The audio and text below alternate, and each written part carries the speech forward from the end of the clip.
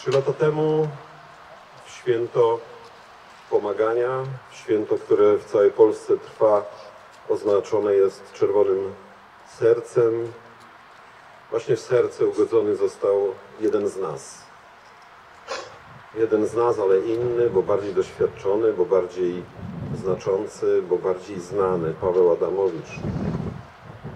W europejskim, polskim mieście Gdańsk.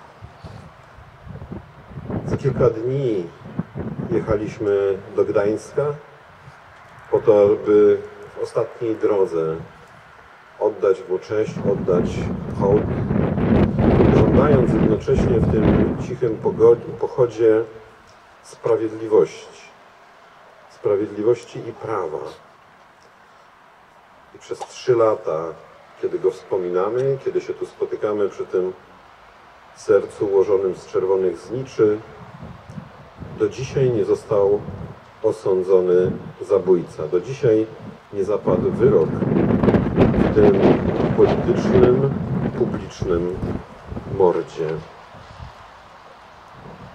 Nie tylko Gdańsk dzieli się sercem, nie tylko Gdańsk dzieli się dobrem, bo tutaj obok tych zniczy za dwa tygodnie stanie Milicka Orkiestra Świątecznej Pomocy.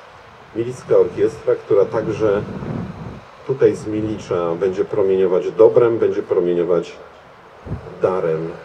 I wydaje się, że to dzisiaj dla Pawła Adamowicza jest najpiękniejszy pomnik, jaki można było zbudować. Jest symbolem najwierniejszego wolontariusza, który ten wolontariat przypłacił życiem. Był z nami też w Gdańsku pan starosta. Proszę o zabranie głosu.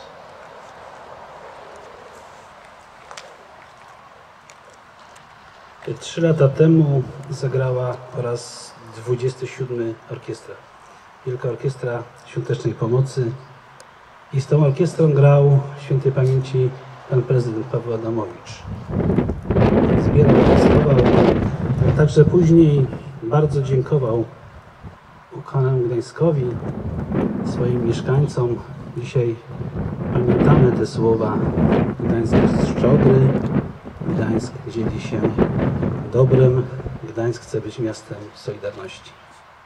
I rzeczywiście te słowa szczodrość, dobroć, solidarność w jego ustach nabierały bardzo wielkiego znaczenia. Ręce, które przytulają, ręce, które służą do tego, aby zapracować na chleb dla swojej rodziny, dla najbliższych, ale też ręce, które potrafią zabić. I rzeczywiście zabiły pana prezydenta. I o czym wspomniał pan burmistrz, minęły trzy lata, a nieudolne państwo nie potrafi doprowadzić do osądzenia osoby, która to zrobiła, bo przecież nie trzeba jej szukać. Minęły też trzy lata i pytanie, czy z tego wyciągnęliśmy jakieś wnioski. Pewnie żadne. Myślę, że dziś jesteśmy jeszcze bardziej skłóceni, bo dzisiaj nawet opozycja się kłóci ze sobą. Ci, którzy rządzą, kłócą się ze sobą. Chciałbym bardzo, aby kiedy spotkamy się za rok, abyśmy mogli powiedzieć, że rzeczywiście proces się odbył, zasłużona kara, to wprawdzie niczego nie zmieni, ale powinna być. I że my też jesteśmy lepsi. Nie przenosimy tego z samej góry tutaj na ziemi, do ziemi milickiej, do naszych lokalnych samorządów. A za 16 dni mam nadzieję, że orkiestra po raz 30 zagra, właśnie zagra też dla Pawła i że my tutaj będziemy mogli również, czy to w powiecie milickim, czy w Miliczu powiedzieć z dumą. Jestem o tym przekonany, wiem, że tak będzie, że Milicz jest szczodry, Milicz potrafi dzielić się dobrem.